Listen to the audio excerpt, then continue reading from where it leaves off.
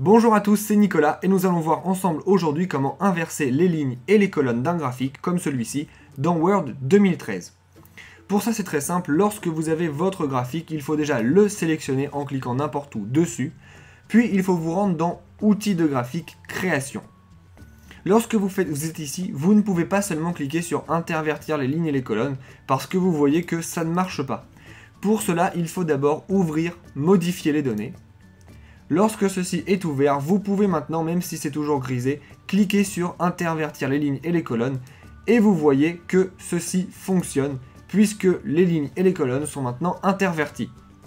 Maintenant que vous savez faire ceci dans Word 2013, eh bien je vous conseille si vous voulez aller un petit peu loin dans la mise en forme de vos graphiques, de vous rendre dans la description de cette vidéo où vous allez trouver des liens vers plein d'autres tutoriels. Vous trouverez aussi des liens vers d'autres grandes parties de Word expliquées aussi simplement que dans cette vidéo. Et pour ne rater aucun tuto, abonnez-vous à la chaîne.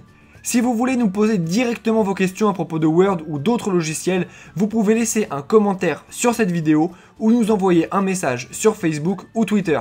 Enfin, si vous avez vu une erreur dans cette vidéo ou si ce que je vous ai montré ne fonctionne plus à cause d'une mise à jour ou autre, s'il vous plaît, dites-le nous dans les commentaires, cela nous permettra de pouvoir réactualiser la vidéo.